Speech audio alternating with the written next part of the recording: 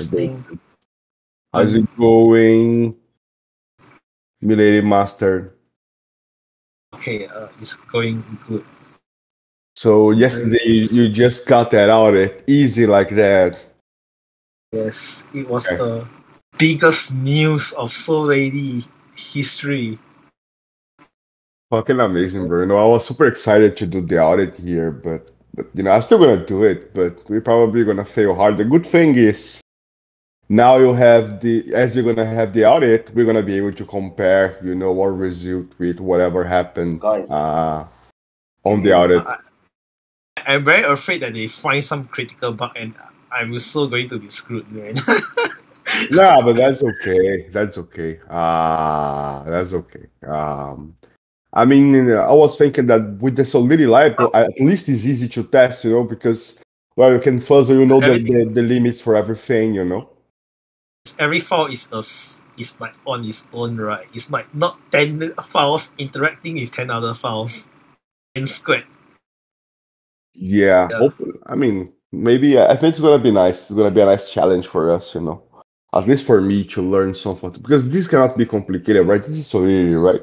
So we just like multiplying bytes. We're not really doing any math, you know. Uh, mostly copying some algorithm, like you told me Yes. yesterday. You know. May- Uh, maybe except for a bit of the fixed math, like fixed point math library. That's all. Oh wait, wait. Let me let me share my screen. yeah. Let's let's start. Let me. Entire screen. Uh, my, my computer is quite a old computer, so if I lag out, um, please, please, uh, if somehow my voice breaks, just tag me in the main chat, okay? Testing, testing. Awesome. Sure. Awesome. Yeah, yeah. I, I, I'm, I'm very afraid that my, my internet or my computer hangs or some shit, and I don't know. Okay, so if anything, if my voice pause for more than like ten seconds, or twenty seconds, just tag me. Okay. Yeah. I, I- are you seeing my screen? Like, am I scrolling the slides? Yeah. We we are seeing both Discord and the slides. Okay. Okay. Uh, that's. I just maximize the slides. Yeah, that's okay, better. so Yes. Nice. of course we are on Solady, okay? So let me see. We, we just scroll. Okay, disclaimer. This thing. Yeah, disclaimer, just have to say, okay. okay, so some prerequisites. What is prerequisites? Show single page. Ah, okay, because um there's no time to repeat everything. I have to assume that you you guys know a bit of you know inline assembly. Yeah. Yeah. We know a little bit. Yeah, okay. okay. What happened? What happened? Okay, so these two numbers, 0x40 and 0x60, I, I so this is the free memory pointer, this is the zero pointer. I, I think if if you don't know, uh, let me know, okay? Then then uh I, I know how to go slower. Okay, uh you know how strings, bytes, and arrays are represented in memory? Yes. if you if you don't know how they are represented in a storage calldata, it's okay. I, I sometimes also forget. Then I have to like use remix and debug. okay, and you know what's Open Zeppelin and Solmate because you need you need to know like what what are the original implementations, what they do, what they didn't do. Yes. Okay. So uh okay. Philosophy about Solady is kind of like a martial art. Like some things uh some magic numbers. They serve multiple purpose. Some tricks that I use, the custom storage layout has it's a single move that achieves multiple objective, by attack and defend at the same time. So in Solidity, in inline assembly, you have to clean the upper bits of addresses. So you know addresses are 160 bits. The Solidity word is 256 bits. All the variables is 256 bits. So the upper 96 bits, if they are dirty, shit will happen. And you have to clean it.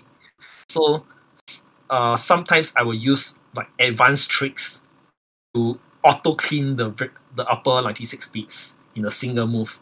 and also store the variable in storage. So You Uh, take a lot of know that- inspiration, right? To do those, yeah, you take a lot of inspiration from other languages, right? yes, I I think uh C a bit, um Python a bit. I don't have a fixed language per se. Like I optimize pretty much many things. But now Solidity is like, like the you know the juicy thing because it's real dollars and cents you can see.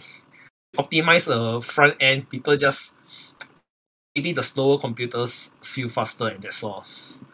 Yeah. Nice. Yeah, so uh, sometimes it's like um, you know, EVM is very constrained. There's only so many things you can do with all those bytecodes. And sometimes you have to be a bit creative with how you use the bytecode. Yeah. That I will maybe show or two lines. Okay. Uh freestyle sometimes it's general knowledge, like some of the sometimes I come up with weird out weird ideas. I don't know where it come from. It, it- maybe it came from a bit of this and that. Yeah, but you have to know a bit of everything to to combine moves together. You know, combine combination. Inspiration from everywhere. Okay, so um, background uh, why I started Solady in July 2022. So there was this uh, Solmate, there was this Open Zeppelin. Open Zeppelin is like general library. Uh, everyone use them. Um, most of the time, they only use 20% of Open, Open Zeppelin. Right? And Solmate is like a very minimalist library. Very hard to add things in. So I find that there is a middle ground somewhere. There's a vacuum in the market um, that it's good to feel. So I don't want to like put all these crazy assembly into Open Zeppelin because Open Zeppelin is for is for right wide audience, is for readability, modularity. Uh, whereas Solmate is for minimalism. So it's, I can't find a place to put all this like new stuff. So that's why I create Solady. And there's no meme I love you. this is a Milady meme. Okay.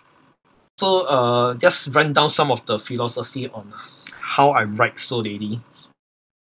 Uh, in Solidity, you have to balance between two things: runtime gas and bytecode size. Uh, For example, you want to clean the upper bits of addresses. You can mask with a 160 bit number, which is like very big in bytecode size, or you can do a shift left and then shift right by 96, which is lesser bytecode. Uh, then also Solady tries to minimize dependencies. Like you know, npm projects, node projects, they have like one dependent, they have like thousands of dependencies that have thousands of other dependencies. So Solady, the only dependency is um actually a lot. There is let me see, there's Foundry, there is uh, maybe DS test, uh, which stands for DET two something something. It's a very uh, ancient testing stuff. Okay, I think pretty much that's it. Um, all the libraries are like right independent, and third is like we try to make the API as neat, as nice to use as possible. So inside is all those all those crazy logic, but outside it feels easy to use. Like you're using some high level language. You don't need to worry too much. So the idea is uh Solady helps you write lesser assembly in high level logic. So when you write a high level protocol, you don't want to uh, pollute your high level code with all those assembly. If not, the your reviewers or auditors will have a harder time reading. So Solady tries to uh, wrap up all the uh, like assembly inside a library. Then you can just import write a few lines and call it a day. If you copy and paste the assembly, uh, your your project will have a lot of extra code a lot of build. So yeah, everything try to modularize put in Solady. Okay, so uh, these are all the files. I think there's a new file called libzip. Anyway, the thing is that um, if you do a text find of what files import other files, you find that there is no uh, like every file is very self-contained. So this means that if you have a team of 20 auditors, uh, you can give one file to each auditor and tell them to audit in parallel. Makes things efficient. Every file is independent. Don't we have more uh, files that are more critical for auditing? That files that you know, like maybe the base64 library or the libzip library. You know, what are the best libraries to start auditing Solady? Okay, uh, I will explain in the next slide. So some of the files I am a bit more confident because I've I've uh, used in my work at Sound XYZ. Um, I asked the viewers to look through them. Uh, some of the files are new. So for a full audit, the three most uh, urgent files are the tokens because tokens have state. Not like libraries, libraries don't have state, so it's easier to fuzz test. But tokens have state. And if I screw up a, a custom mapping, uh, shit will happen. So I highly feel that tokens should be audited first. And after that, the most important libraries like safe transfer lib, see whether there's any memory uh, memory issues. Hopefully not. Because a lot of people look through it. Uh, ERC1967 factory. Uh, this one hasn't been widely adopted because um, people feel a bit less adventurous. But actually, from a first principles point of view, it is superior to uh, any of the current existing upgradable proxies approach. Uh, there's a signature checker lib, which is related to ECDSA. It's a Merkle proof lib. Okay, these two I'm pretty confident, but I, I just want to double check because many people use it. It is very critical in many code. EIP712 also worth checking out whether it has any bugs. I'm also pretty confident, but just just to be safe, you know. One question, React. One question, React. During your job, during your time working at Sound XYZ, do you just got the time to work on Solid? Did it just give you some research time, or you did that on your free time? Okay, uh, I, I let me talk about my boss. So my boss, his name is David Greenstein, and yeah, he's a super nice and very base person. He's a very cool person. So, uh, when he hire people, he has this philosophy of hire across the whole world. Don't just hire in LA, SF, or NYC. Although he's in NYC, hires across the whole world. So we have people from Poland, we have people from uh, like me in Singapore, and we have people from Taiwan. Actually, wasn't wasn't from Taiwan. He moved to somewhere in Europe. Yeah. So we have people from all over the world. Okay, and have like very diverse team. Higher base of merit, but our team is like very diverse because we we are open. Okay, and how we hire is how Sound XYZ hire. Uh, we look based on the GitHub contributions, um, and GitHub contribution means a lot of the people we hire are very prominent open source contributors. Uh, Do so, you usually take parts in the interviews? Oh, uh, they are not hiring smart contract guys right now. Uh, they are hiring maybe I think back and full stack that kind of guys. Yeah. So so the thing about sound is that um you know, you don't need 10 people to write a protocol. You just need one or two guys. Right. You get it? It's like, how, how many ways are you going to rewrite uh, a Merkle proof lib? Yeah, yeah, I do get it. Yeah. at, the, at the same time, the, the work that these guys doing are, are kind of challenging, you know, because you guys are doing NFTs, gotta be super optimized. So you know, getting these guys is not easy. Hiring at the level is not easy. Uh, Uh, but I guess- once. Yeah. Don't need to like, refresh, refresh. If you refresh a code too often, people people will cry. Like blockchain is not meant to be mutable. You can upgrade your contracts, but uh, that is not a very nice pattern, you know. Like upgrading. So although there's upgrader upgrading stuff down here like 1967 factory, mm, if you can make your up you can make your contracts non-upgradable is still better. That's my my feel. So try to consolidate your changes to contracts like once every few months. Make sure your contracts are very properly reviewed. And you have to think a bit like future proof your contracts a bit. Think about what are the future use case so that you don't need to change too much.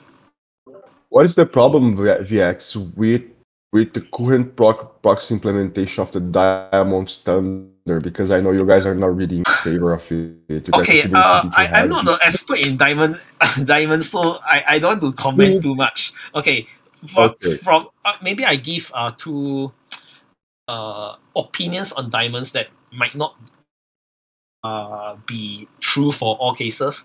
So okay, one thing is that diamonds, you know, the storage might overlap. So auditing Yeah, takes more effort. You have to the auditors have to let's say there are 10, 10 facets. So and it can be like the amount of interactions is n squared. So 10 times 10 divided by 2 pairs. So the amount of facets grow, the amount of interactions grow in terms of n squared. So to make a very thorough audit, it's, it's not uh, it does not scale very well. You know, it's quite hard to audit its nature because it's too flexible. Vex, Yeah. awesome, sorry, awesome. sorry for interruption, Vex. Can you can you move your cursor uh, across the screen? I think uh, the slides are freezing. Yeah. Do you see, guys? Because the guy said like, yeah, it's all good. No, everything's working. Um, Vex Vex connection sometimes like the the sound is like glitching. Not only for me, but for the other guys. yeah, so keep okay. up. Okay. Yeah, we're all good. Uh, keep on, keep on, yeah, keep on, keep on. Okay. Uh. So. Oh, I will tell. I will talk about the one nine six seven factory like in uh five minutes. Okay. Uh. So. Testing. Solady's testing is a bit uh unique because of how heavy assembly is used. So we do some extra tests like brutalizing the memory, brutalizing the bits. We also test with extra paranoia. We try to make a test as fast as fast testing as possible, as much fuzz testing. Cause like we don't know what we don't know, you know. Of course, we write unit and H test, but we will write. Uh, most of it is in fuzz testing, and we test until we are very sure before we merge merge the PRs we also like consider like adversarial conditions like what if the free memory pointer is not aligned? Uh, what if the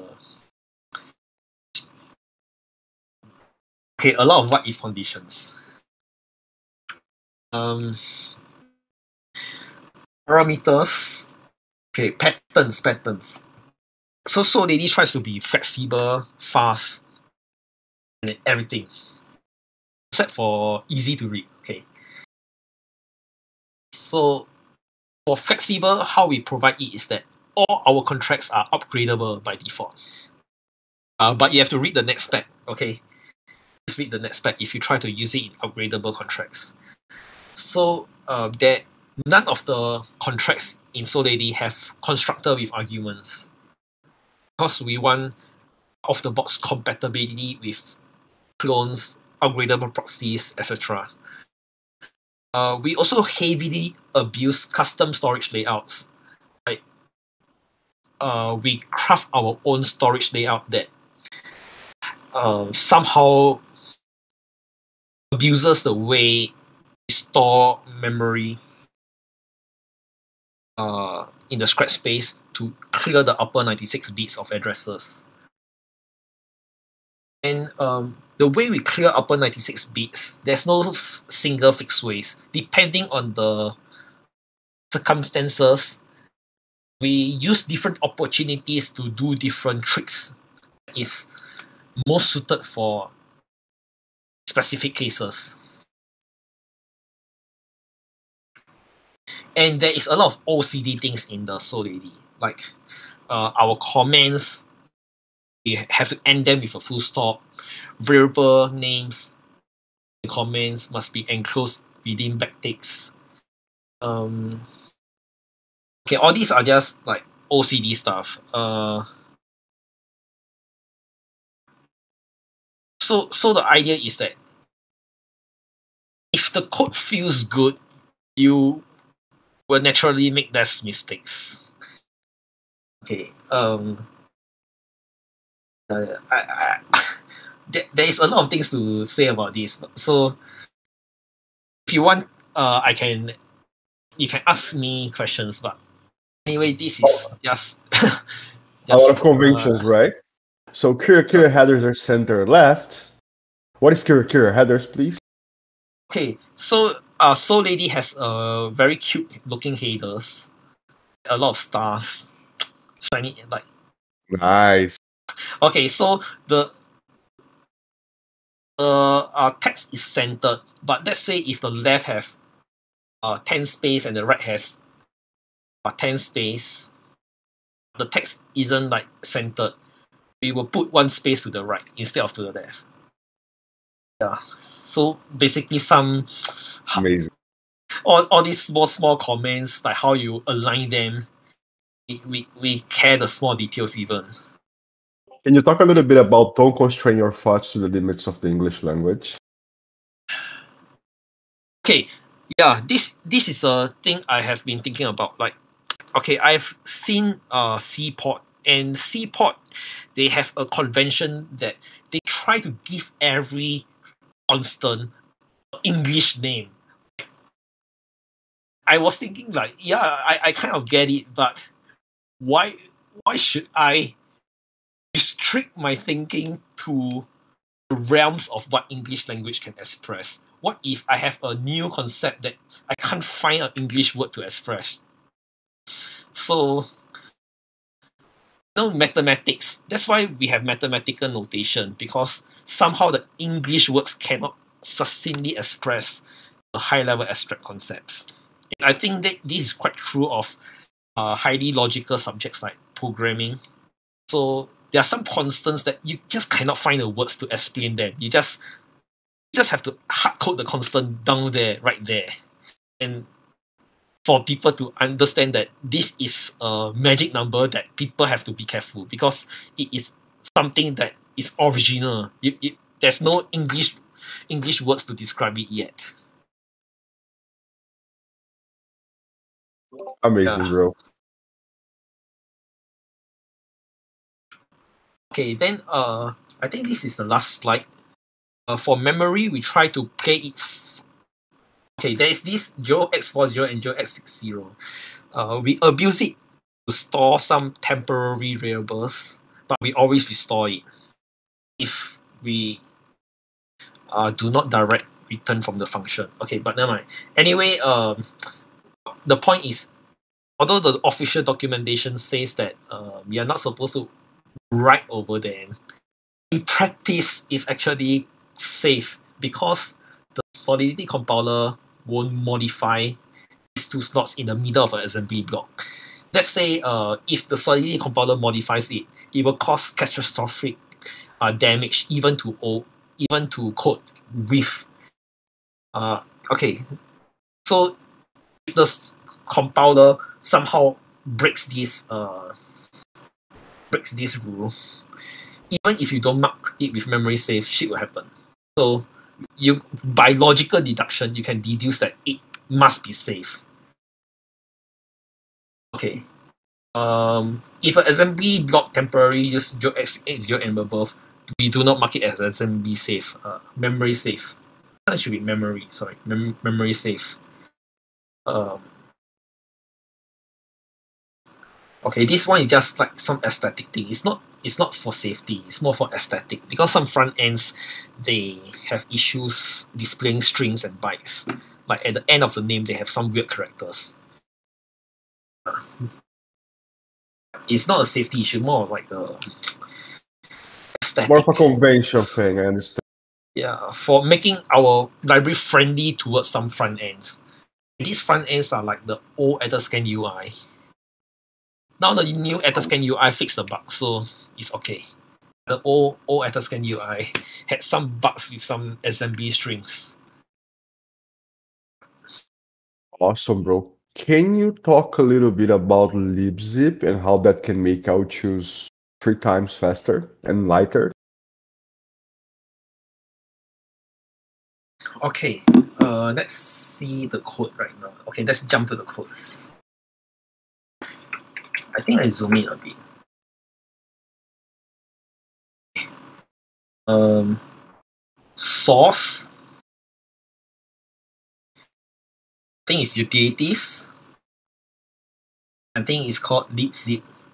Okay, this library is a very powerful library for L2 um actually all these like FLZ FLZ stands for fast LZ it's a LZ77 implementation uh, this is more for like compressing and decompressing on-chain SVGs or on-chain bitmaps for those like fancy NFTs that is they like to boast it's on-chain yeah they can use this shit okay but the the important part of the library is the calldata compress and decompress. Okay. So, so the thing is, I have a contract down here. Contract is very simple. Okay. Uh, okay, here is libzip. Uh, ignore it. The contract is I full screen. Okay. I zoom in a bit more. Okay. So basically, um, is some storage variables and there are some uh, function. I pass in an array of numbers. Wait, wait, wait.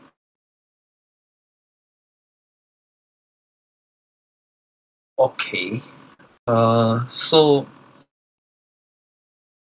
yeah, the, the thing is if you call this function, the cost transaction on optimism or other L2s like Arbitrum is alternate by the size of these numbers.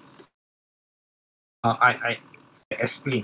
So two transactions. One is the compressed and one is the non-compressed. Okay. Let's look at the non-compressors. Uh, that is cost three dollars and five cents. So it calls the call the store number hash. And it has all these fancy huge S calldata, very big calldata. and it costs three dollars and five cents. If I use libzip, see the cost. 63 cents. Wow. Right. I compress Oh. the calldata. So instead of passing this whole chunk here, it becomes that. What is the Because of algorithm of this compression? Oh, it's uh, it's and this uh, Clary. Clary is a, a very Awesome. important programmer at Optimism. He won the recent ETHGlobal Hackathon with the OP compressor. So we discussed how to how to uh, save the calldata, compressing it. So he has this amazing idea that uh, is we can use run length encoding on the zero bytes because zero bytes are the most common bytes in Solidity calldata. What I mean is like you see all these zero down here, this is Yes. zero bytes. So I improve upon the algorithm by also compressing the FF bytes. because FF bytes are the second most common. Because people al- always pass in the like you have to approve maximum amount of tokens, you pass in FF all the way. So I compress the zero bytes and the FF bytes. So I do the run length encoding of zero and the FF. So uh, there's also one trick in the CD wait CD compress. Wait, is it this? So after I compress, I also flip the first four bytes so that it won't collide with any function selector. Then it will uh, so-called uh, function dispatch in the contract will pass the compressed calldata to the CD fallback and it will uncompress, decompress the calldata and delegatecall to itself. So uh, this way, let's see the contract again. Okay. Uh, you just need to override these two functions and call LibZip cd fallback and the contract is instant compatible with compressed calldata. You can save uh, you can save some serious money on that. Yeah, amazing stuff, man. I mean, just coming up with these ideas sounds quite crazy. The idea that I can compress bytes to make calls cheaper. I mean, this is like looks to me like some sort of evolution of whatever multi-call we have today. You know. Yeah. Uh. Okay. I need to show something like L1 gas, right? There's the L2 gas and the L1 gas. Okay. This is what you have to pay attention to. L1 gas used by transaction is 7k, and I think this is 30, 36k. I think with EIP 4844, this one would drop drastically. Um, but you know, if everyone has the same like cost drop by 10 times or 50 times, mm, then people start spamming the network. So the person who have the more optimized code will help the customers like save the money because all the gas costs like suddenly drop today. Then people will start spamming the network. People buy more shit coins, buy more, uh, trade more NFTs, and then the gas price will go up again. So having the more efficient calldata or the more efficient contract will make your customers, you know, enjoy the game for longer. Enjoy the game longer. Yeah. Makes a lot of sense, bro. Yeah. I have I have a few questions for people here. The first is it's already being used in production by some project. Oh yeah. Um, I I think um, most prominently is Sound. Uh, Sound.xyz where I work at. Um, I'm not sure where OpenSea use it. I haven't checked. I think uh, I think, I Zero think Milady, Milady uses it, don't it? Yeah, the bonkers, but that is by me. So uh, that's not considered, okay? Okay. Uh, okay, it's production, but uh, I, I'm trying to think of other other people who are not me. Uh, Zero X Zero X Splits, I think their upcoming contracts might use our lead clone. Um, there is Optimism Bedrock. I think they might I, I don't know. I forgot which part of Solady, but a small part. Okay. Uh, I, I don't really get your question here, team. Uh, so team is saying is saving guys is saving is saving gas always memory uh performance. So so, so let's say I save two percent gas is like increasing fifty percent in performance. I don't really get the question. If you want to open your mic team and talk.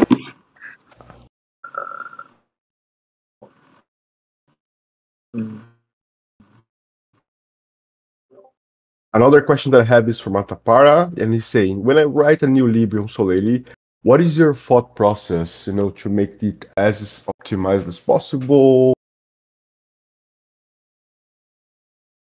Oh. this is a gas saving always okay, I, as I answer uh team's question first. Okay, so in in the in the EVM, uh, yeah, memory is being taxed also. So there's this thing called the memory expansion cost. Every extra byte of memory that you first access, you'll be charged a certain amount of gas. So that means um, if your Solidity code takes up a lot of memory to run on all those validators, um, yeah, you will be charged quite a lot of gas. And this cost, called the memory expansion cost, grows quadratically. So you have to um,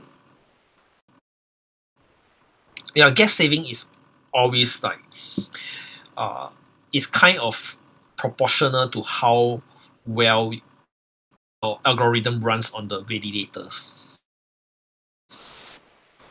Okay, um I answer Atapara's question. Um what is my thought process? Okay, um there is this PDF called Advice to a Young Mathematician. So the idea is that sometimes you have the you have the gut feel that you go in a certain direction, um, you can find some improvements. So sometimes you have to um, train your gut feel. Your gut feel is not like hundred percent correct. You you need to like know when you can trust it, when you cannot.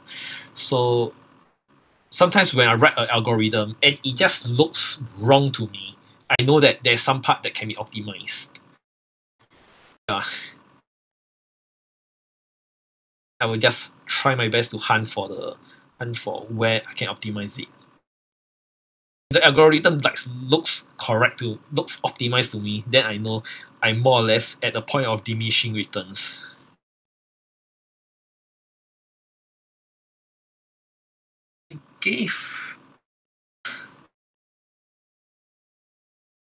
okay actually um I, I do think that if you deploy on L2s most of the gas problems can be solved uh, and L2s will become like much more scalable when this EIP 4844 hits the market.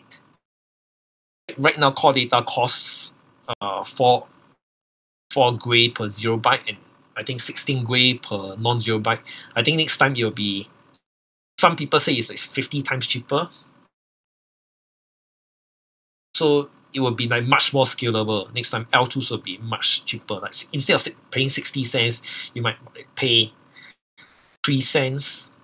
So I think the uh, incentive to use L2s will grow up as time goes by it becomes so cheap that you you feel there is no reason not to use it. Right now at 60 cents per transaction, it's cheap but not cheap enough actually.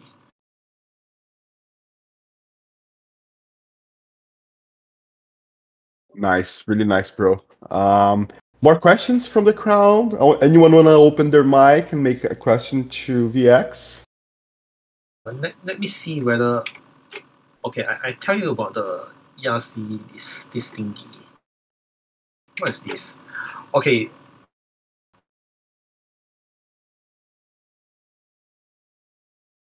Uh, this.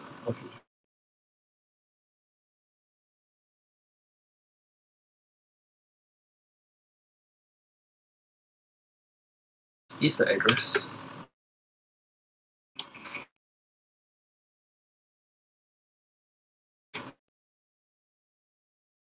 only two people using it right now because uh, people don't trust the product yet. um, we have really like tried our best to make sure that it's correct, but um, uh, that's how it is. So trust is a issue. Okay. So anyway, um, the the thing is that uh, let's say I deploy a contract. Say I deployed some contract down here. This is an upgradable con- contract. Uh, it creates a contract. So the thing is that um, a read as proxy and there's a write as proxy. So uh, what Etherscan doesn't support right now is you was people just see this bytecode down here, then they will get a bit scared. But whereas uh, but bytecode you can actually trace it back to the factory and make sure that it's verified. You can like click here, then see the factory and verify that this bytecode is indeed safe. So um, thing about this upgradable proxy approach is that you don't need to verify your contracts because uh, obviously this bytecode is there's no way to verify it other than ask Etherscan to support it by hiding this code, hiding this tab. Etherscan won't uh, will most likely not entertain. Yeah, they, they are pretty slow to do things. So and the second thing is that uh, every time you deploy a transparent transparent upgradable proxy, you have to deploy like two extra contracts. Then you have to verify two extra contracts.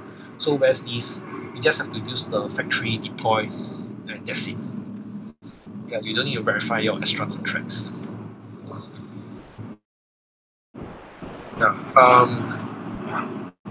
And let's say, okay, let's talk about the LibZip. So Solady, if you are using LibZip, uh, we also provide a library called Solady JS. I, I intentionally use TypeScript because I want everyone to easily use it anywhere without installing all those tooling. So you can call the compress in the front end, in the back end, wherever. If as long as there's JavaScript, then you can pass it to the contract. So we try to make everything as easy as possible for users. It's really cool, bro. How long would be the audit? One week, two weeks, one month? You have any ideas?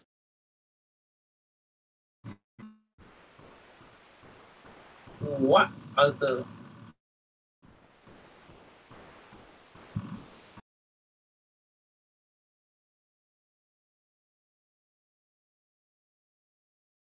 yeah, I, I do think that um, getting an audit is quite important to establish trust because like it's like users also have to answer to their devs have to answer to their users. Let's say if something gets hacked, then people start pointing fingers. Why isn't this auditor? Why isn't that audited? Yeah, that kind of shit and drama will come up. Um, okay. What are the advantages and disadvantages of That's really cool. I okay, mean, uh it, so okay, so Solady is designed in a way that you can just copy and paste the code into your code base. Uh, but then you have to consider, let's say if your code base has a CI that does something like code coverage, um, and the amount of code you copy will screw up your code coverage scores. Okay, uh, for Solady we don't do code coverage because like obviously you can't like tap, you can't cover handwritten bytecode and there are some assembly that is totally not suitable for code coverage. So yeah. Uh, but the thing is that if you import like Solady versus copying to your code base, it can can uh, help improve your CI compile times, your code neater.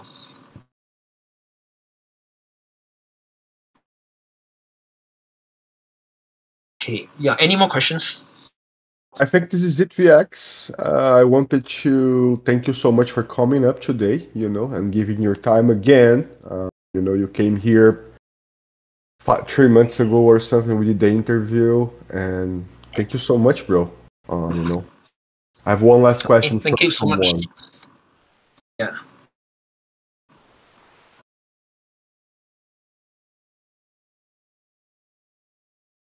Oh, single variable instruct a struct. Okay, I, I, I explain. I explain.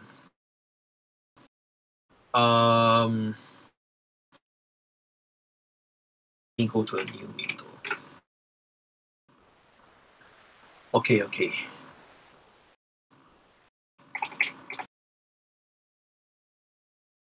I, I think I, I have an example that can that can demonstrate. Okay, so in this there's a it's a contract called uh, ah so this is struct that has a single value. Um so the thing is that you use a struct with a single value, you can show you where is it using.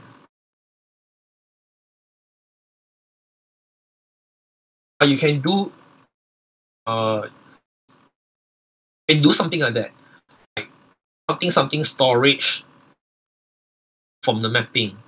Then if you do some other stuff, um, you don't need to recalculate the slot. Also, you can uh, directly uh, get the storage slot in assembly without doing all those keccak 256 shit. Yeah. Sometimes uh, this pattern makes it easier to use uh, the value, handle the mapping values. Okay. Very nice, very nice. Cool, bro. I think this is it, VX. Uh, anything you want to say? Any closing thoughts? Let me see.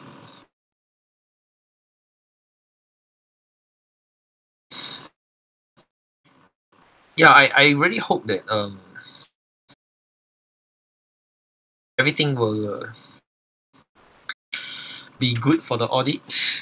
Awesome, I'm bro. keeping my fingers crossed. I also like would like to thank all of you for your support and your immense like support, your love and your time. Yeah, bro. Thank we're gonna do, thank you so much, Yeah. man. And we're also gonna do the audit here, so we can compare in the end, just to see how much of we got wrong and right. Okay. Thank you so Uh, much, bro. just just, just Uh, one uh, thing. don't don't be too hard. Sorry. Yes. Sorry. one, one thing before we go. Uh, what do you think we should do to get ready for the audit? How can we help you as much? Like, how can we be helpful? Um. Do you have some advice? right now, um, oh my god. I'm sorry, man. Oh, It, it seems like a complicated question. Uh, no, no, no. So, so okay, because Solady is like every, every part of code, every part of Solady is written in uh, slightly different ways. Um, it's no one fixed rule to audit everything. Um, okay. okay, if some functions that are too complicated to understand line by line. So for those functions, I will like check whether the fuzz test is good enough. Awesome, awesome. Sounds okay, good. bro. Like you know, there are like some stuff like uh, the math functions. Like, okay, I'll show you one example. Um,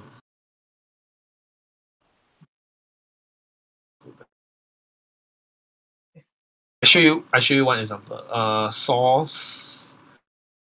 Um, where is it? Queues. Um, is it here? Explain math.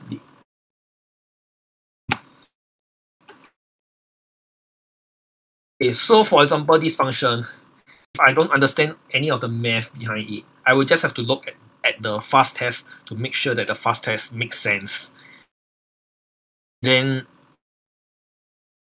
fuzz test as much as possible. Awesome. Makes me happy that you know Okay. nothing about it. Okay, makes me more hopeful. Uh, sometimes I don't know everything also, but I where, understand. where, where will does go this number come from? Let's, let's, we will do our best to, to be helpful as much as much. Yeah, as we we're gonna yeah we're gonna have you know we're gonna have a training session with Trilly before, and then we, he's gonna give us the UPU, and then we're gonna prepare probably to start this weekend on this audit. You know, I want I want to do something live that will be on camera. You know, that's fun. We're doing groups.